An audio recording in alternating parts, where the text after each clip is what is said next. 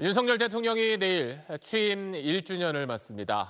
윤 대통령은 지난 1년 외교와 안보 분야에서 성과가 있었고 또 시장 중심 기조로 정부 정책이 바뀌었다는 점을 강조했습니다. 다만 그 과정에서 야당과 협치는 멀어지고 또 대화와 소통은 부족했다는 지적도 나옵니다.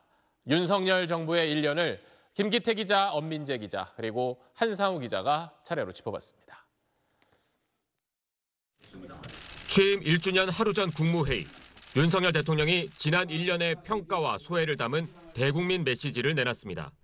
두 차례 한미 정상회담을 통한 한미 동맹 강화와 한일 관계 정상화 등 외교, 안보 분야 성과를 우선 강조했습니다. 제가 대통령직에 취임한 1년 전 이맘때를 생각하면 아, 외교 안보만큼 큰 변화가 이루어진 분야도 없습니다. 국내 현안에선 전 정부 정책을 강하게 비판하며 민간 주도, 시장 중심 기조로의 정책 전환을 강조했습니다. 건물과 제도를 무너뜨리는 데는 시간이 걸리지 않습니다.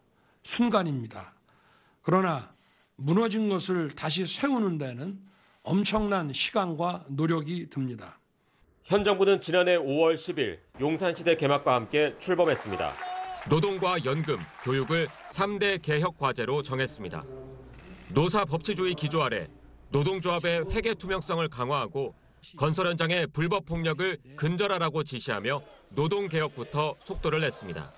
이어 원자력 산업 진흥을 추진했고 이른바 문재인 케어로 불렸던 건강보험 보장성 강화를 폐기했습니다.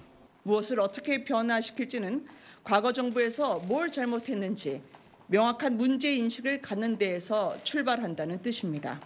현 정부는 자유민주주의와 인권 등 보편적 가치에 기반한 가치 외교를 내세우며 안보와 경제, 기술 등 분야를 가리지 않고 미국, 일본과 협력을 강화했고 중국, 러시아와 거리는 그만큼 멀어졌습니다. SBS 김기태입니다.